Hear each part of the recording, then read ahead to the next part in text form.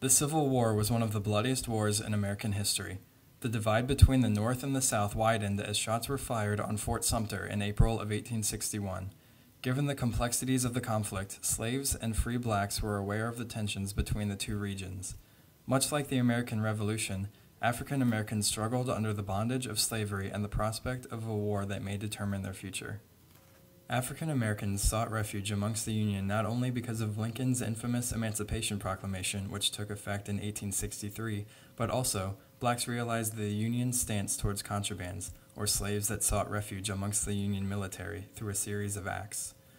According to the Fugitive Slave Law of 1850, runaway slaves were required to be returned to their masters, However, Union forces were receiving so many black fugitive slaves that they began to include them in the war effort. The series of acts that helped establish the Union's position on slavery were the First and Second Confiscation Acts. The First Confiscation Act defined that slaves used in the Confederate war effort were forfeited to the Union. The Second Confiscation Act declared freedom for all slaves in the rebelling states. Once enlisted in the Union military, African Americans contributed to the war effort through numerous jobs like cooks, servants, and even informants.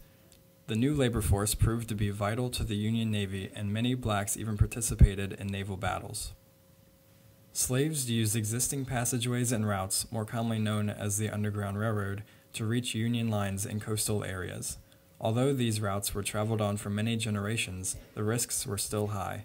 Slaves that escaped plantations risked being caught by slave patrols or even fired upon by unsuspecting Union soldiers. George S. Geer, one of the crew members on board the USS Monitor, recalled witnessing the dangers of runaway slaves. I was on deck the other day, and the body of a Negro came floating down. He had probably been shot while trying to escape. It was a sad looking sight for me.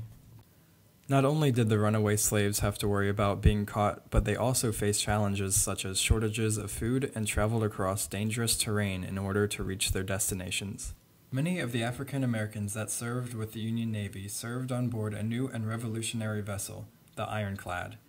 The USS Monitor and the CSS Virginia are the most famous examples of 19th century maritime advancement, and the vessels were indispensable to both navies. With a strong and steady supply of contrabands and free black Union sailors, the Union Navy managed to debut the skills and contributions of African Americans during the war effort. The stories of Siah Carter and the other African Americans aboard the most infamous ironclad, the USS Monitor, are examples of only a few of the many experiences of African Americans during the Civil War. Because most African Americans in the Union Navy never left written accounts of their stories, Historians have had to rely on the notes and diaries of white Union sailors who served with them in order to better understand African Americans' experiences. Nevertheless, it is clear that African Americans were willing to risk their lives for a cause that would ensure their future and the future of their children, a future of freedom and independence from slavery. Siah Carter is one of the most well known contrabands that made it on board the USS Monitor. On May 16, 1862, William F. Keeler, the paymaster on board the Monitor, recounted to his wife the night that Siah came on board the ship.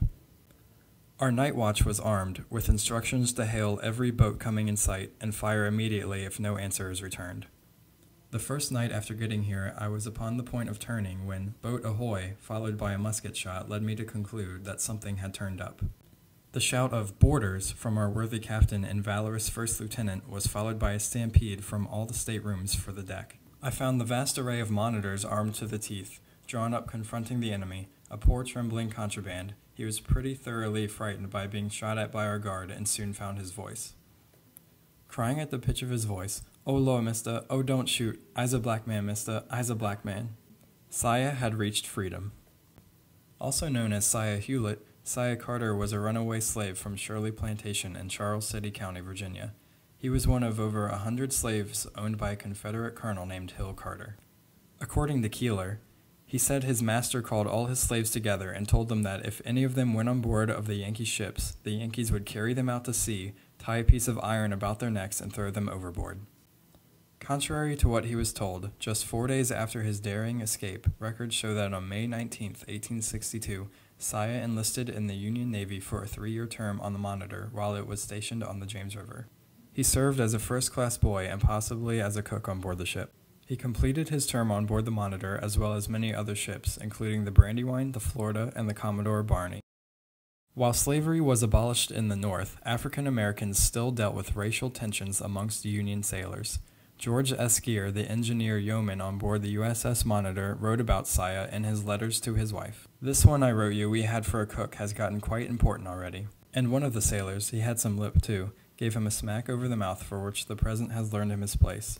He began to think himself as good as a white man, and I must say he does know as much as some of these sailors. Another former slave that served on board the USS Monitor was Daniel Moore. He was the son of Sarah and Henry Moore, who were the slaves of Jesse Ewell in Northern Virginia. It is believed that Daniel Moore and another contraband arrived on the Monitor on the 13th of November, 1862, while the ironclad was anchored off the coast of Newport News, Virginia. Although not much is known about the crewman, it is known that he served as a landsman while on board the ship. However, on December 31, 1862, Daniel Moore perished during the sinking of the USS Monitor. He was never married and had no children. Runaway slaves were not the only blacks that served in the Union Navy. Free blacks also served on the USS Monitor. William H. Nichols, who was described as a dark skinned mulatto, was from New York and was transferred on board the Monitor from the ship the North Carolina. He served as an officer's steward until the sinking of the Monitor in the winter of 1862.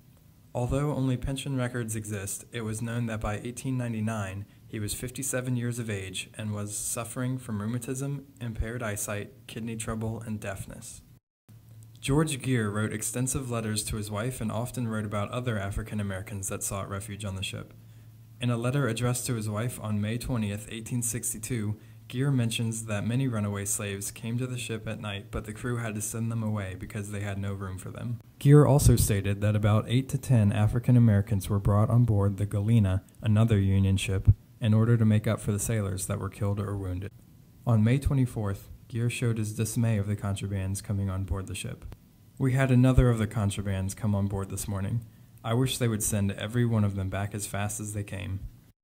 Although little records exist of all the African Americans that served on board the USS Monitor, their contributions were significant. The African Americans, like Siah Carter and Daniel Moore, managed to escape their bondage despite the dangers in order to serve a cause that they felt was just and right, a cause for freedom and equality. And free blacks, like William H. Nichols, wanted to serve their country as well as a cause that divided a nation but united African Americans.